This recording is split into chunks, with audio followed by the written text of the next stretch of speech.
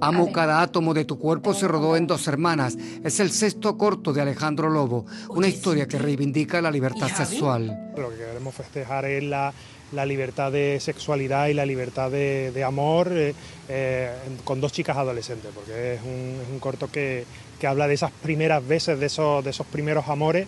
María Cantero y Carmen Daza protagonizan Amo cada átomo de tu cuerpo, una comedia romántica en la que también participa Silvia Giner con un salseo así a lo élite.